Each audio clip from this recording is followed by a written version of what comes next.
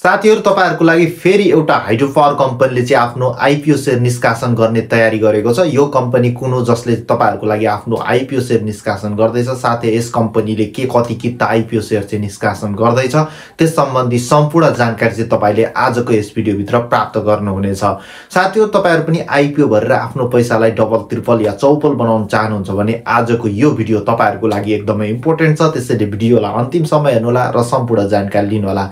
साथीहरू तपाईँले अहिलेसम्म हाम्रो च्यानललाई सब्सक्राइब गर्नुभएको छैन भने सब्सक्राइब गरी सँगै रहेको बेलनोसन बेललाई चाहिँ अन गर्न भने नबिर्सिनु होला नमस्कार साथीहरू म हुँ प्रतीक। वेलकम टु तपाईँहरूलाई तपाईँहरूकै च्यानल न्यू आइपिओ अपडेटमा आइपिओ निष्कासन गर्ने कम्पनीको नाम रहेको छ lower Irkhuwa hydro power limited. यस कम्पनीले जारी पुँजी एक अर्ब तिस करोड पचास लाख रुपियाँ बराबरको अठाइस लाख पाँच हजार पचहत्तर किता आइपिओ सेयर चाहिँ बिक्री खुला गर्ने भएको छ।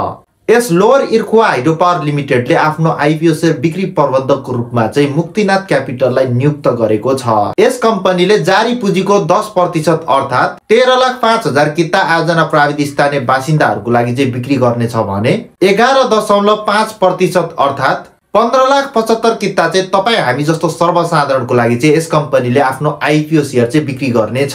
यस लोवर इर्खुवा हाइड्रो पावर कम्पनीले चाहिँ अहिले बिक्री प्रबन्धकको रूपमा मुक्तिनाथ क्यापिटललाई चाहिँ नियुक्त गरिसकेको छ भने अब यस कम्पनीले चाहिँ धितो पत्र बोर्डमा आफ्नो आइपिओ सेयर निष्कासन गर्नको लागि चाहिँ अनुमति माग्दै निवेदन पेश गर्नेछ र धितो पत्र बोर्डले चाहिँ यस कम्पनीलाई अनुमति दिए पश्चात चाहिँ यस कम्पनीले तपाईँ हामी जस्तो सर्वसाधारण साथै स्थानीय बासिन्दाको लागि चाहिँ आफ्नो आइपिओ सेयर चाहिँ बिक्री खुला गर्नेछ। यस कम्पनी कम्पनीको आइपिओ सेयर डेट फिक्स भइसकेपछि फेरि हामी तपाईँहरू समक्ष एउटा नयाँ अपडेट भिडियो ल्याएर उपस्थित हुनेछौँ। त्यस भिडियोलाई हेर्न मिस गर्न चाहनुहुने भने तपाईँले अहिले नै हाम्रो च्यानललाई सब्सक्राइब गरी सँगै रहेको बेलन्स बेललाई चाहिँ अन गर्न भने नबिर्सिनु होला साथीहरू तपाईँलाई चाहिँ लोवर इर्खो हाइड्रो पावर कम्पनीको आइपिओ सम्बन्धी यो जानकारीमूलक भिडियो कस्तो लाग्यो? भिडियो मन पऱ्यो भिडियोलाई एउटा लाइक गर्न सक्नुहुनेछ तल एउटा कमेन्ट छोड्न सक्नुहुन्छ भिडियोलाई सेयर गर्न सक्नुहुनेछ कुनै प्रश्न या कोही छ भने तपाईँले मलाई इन्स्टाग्राम साथै फेसबुकमा फलो गरी म्यासेज गर्न सक्नुहुनेछ।